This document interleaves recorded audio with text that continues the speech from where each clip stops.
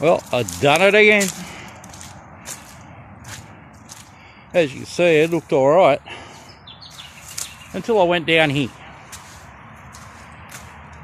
And now I am trying to jack up the car. My bottle jack just broke. So I've got to get a new one of them next week. I've got this tyre sunk straight down. It's just like liquid sand. Now I'm trying to jack it up with a bush jack. As you can see, I'm not having fun. And today just keeps getting worse.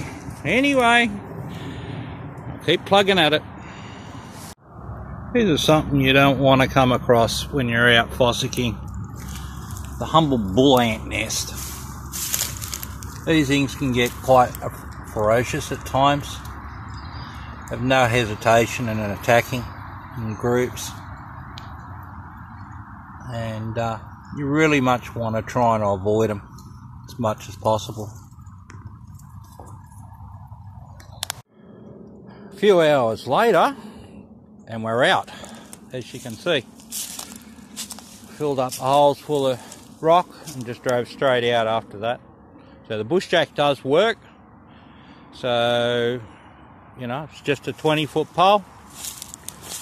Stumps underneath it, as you would have seen in the previous video. That's your lever and fulcrum. Just put it underneath your tow bar, a little bit at a time. Stick a bit of wedge of wood underneath it and just lift her up. Anyway, I'm getting out of here because there's a few bull ants laying around. And we'll catch us all later. Thanks for watching.